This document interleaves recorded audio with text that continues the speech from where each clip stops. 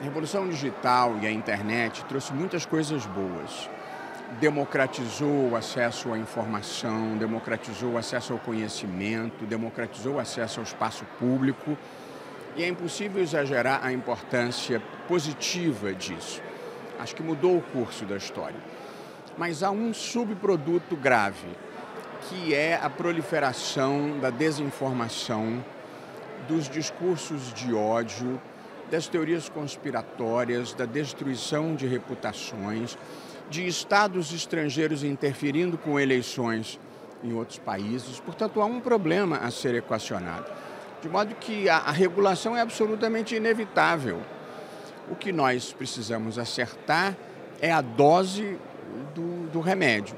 Mas ninguém acha que as redes sociais devem ser um espaço para pedofilia, deve ser um espaço para terrorismo, deve ser um espaço para outros tipos de crimes.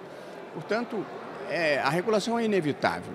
É, de modo, é, é, é inevitável proteger a privacidade, é inevitável proteger direitos autorais, é inevitável para a tributação justa e é inevitável para evitar que a democracia e os direitos fundamentais sejam comprometidos por um universo inundado pela mentira deliberada não é um Ministério da Verdade, porque a verdade não tem dono.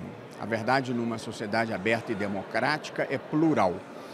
Mas a mentira deliberada tem. E é preciso apontar o dedo para as pessoas que difundem a mentira deliberada quando ela seja perigosa. Tem mentiras que são tolas e que são ingênuas. Mas se alguém disser na rede social que querosene é bom para Covid, você pode matar as pessoas com essa informação. Então, as sociedades civilizadas precisam se proteger contra esse tipo de comportamento. Não é censura.